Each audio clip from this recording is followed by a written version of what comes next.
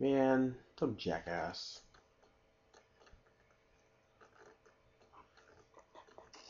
Is there like flip flops for fighter or like a no shoes thing? Cause shoes on fighter don't really look good.